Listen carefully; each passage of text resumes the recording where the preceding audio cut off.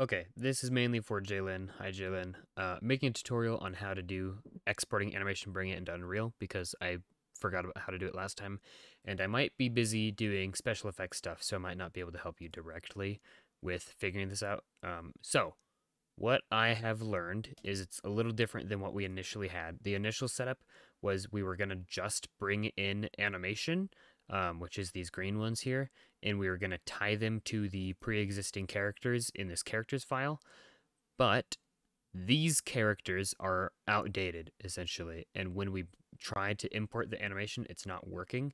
So um, I need to do something else. So for example, uh, I'm going to show you, there's sort of two steps. There's like the first time that you import something, it's going to be the character and animation. And then every time after that, it's just going to be animation for that character. So for example, in this scene right here, I have Lizzo selected. Uh, very, very specifically, you only want to grab the fit skeleton, the motion system. No. Whoa. Fit skeleton, deformation system, and geometry. Those are the three things you want to grab. And I'm going to export selection. The two things important in here, you want to make sure animation is checked and bake animation is checked. I'm going to name this uh, just Lizzo. I did this earlier, but I did it wrong, so I'm going to replace it. Um, just Lizzo because this is going to become the like actual skeletal mesh and skeleton. So I'm going to export that and I'm going to replace the old one. Uh, this is going to bake out all the animation now, so it's going to take a while. So I'm going to go back into Unreal. Um, so I've already brought in Finn. Um, I don't think we can bring in Rory yet because the rig needs to be fixed still. Um, and the ringmaster is slightly different. But so, for example, although it looks really weird, there's Finn skeleton, uh, physics asset actually, um, and animation. Um, I don't know why there's a physics asset with this one. I don't think there was with the other one, but maybe there was. Uh, and skeletal mesh. So you get like the skeletal mesh physics asset and skeleton. And then since we baked animation, it brings the first like sequence into this, you know, or shot or whatever you want to call it. Um, so there it is right here. This is the first one I brought in, like a turnstile one. Perfect, great. Um, looks good. And then, so yeah, that's what we're gonna get, and these are gonna replace the character stuff in this character folder. So literally all of this could probably be deleted but I'm just going to throw it in a folder right now because I'm scared of deleting stuff because first recording I did of this, I deleted something and it nearly crashed Unreal Engine. So, yeah. Um, also, just to show you, this is still baking animation, so that does take a while. So, something to keep in mind is like we probably do want to get started on this sooner than later because just the baking the animation alone takes a few minutes. Um, and I guess moving these files in Unreal it does too, because now I'm getting the spinning circle of death.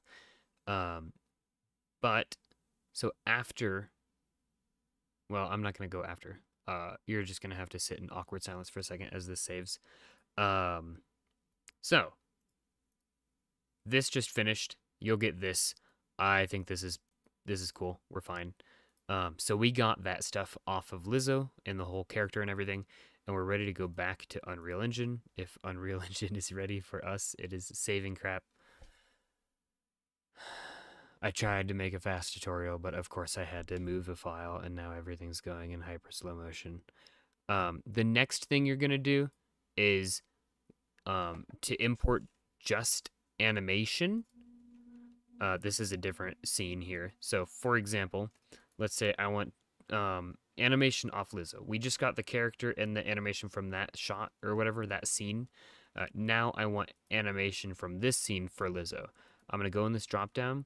The only things you want to grab is the deformation system and the fit skeleton. You don't want to grab geometry or any, any of the other stuff. And then you're going to go export selection and again, animation, bake animation. Uh, I'll call this Lizzo uh, S1, S4. And also, I am just testing all this out right now, so I haven't organized it in Unreal yet. Um, sorry. Uh, but yeah, so like, for example, the character stuff that we're getting out of this is going to need to go into these character folders.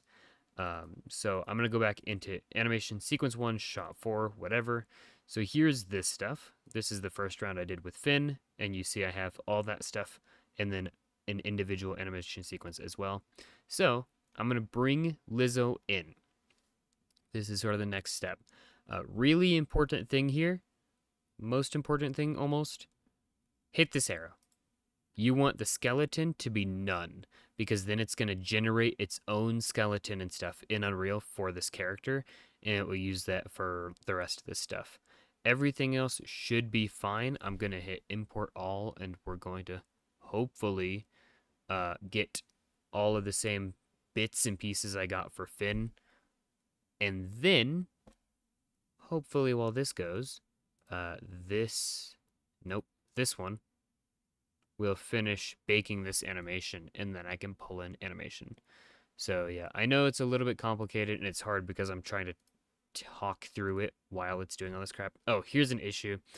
I didn't disable the materials in the import screen. So all of these really stupid Lamberts came in. Uh, I'm just going to kill these. Uh, maybe that's going to take 10 years. Nope, we're good. But as you can see, we got Lizzo skeletal mesh, Lizzo anim. Uh, this will need to be renamed to whatever sequence it was or whatever. Um, but then physics asset and skeleton. All the skeletons are doing this weird thing. I don't think it matters, but I could be wrong. Uh, and of course, if you open up the animation,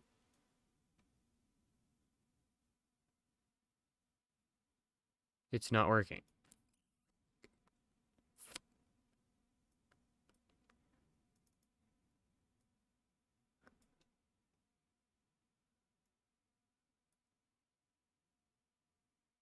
Okay, I'm going to see if the other animation I baked works. Um, this is probably an issue, but I had this, all of this popped up when I did Finn's, but Finn's actually is working, like I showed you earlier. Uh, and then this is the second thing I uploaded of Finn's, which also just works perfectly. Um,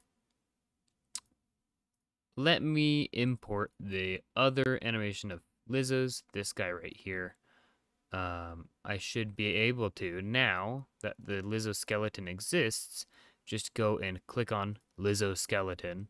Um, and I will this time, well, I don't need to disable materials because there aren't any on this because it's just animation data. But I'm bringing that in now and hopefully this one will work. I don't know why the first one didn't work. I don't know if I had something incorrectly selected or what. Um, I don't know, actually. Not the best tutorial. Sorry, I'm making this sort of... Oh, look at this. Less errors. Um, so here's that animation sequence. Oh, and this one did work. Yeah, so like, maybe I just had something selected wrong for this other one, Lizzo Anim. Um, I honestly... Wait. Uh...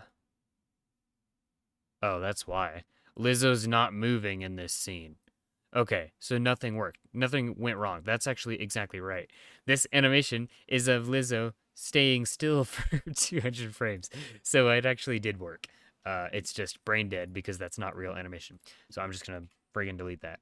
Um, but yeah, so that's the sort of, that's how this is going to work. Um, all of these pieces though, like skeleton, physics asset, skeletal, whatever, those need to move into the character files and then the animation needs to be moved where it needs to go. But that's how it's working right now. The ringmaster is different, so don't worry about that right now. Um, but this should be a good start. Uh, yeah. Hope this helps.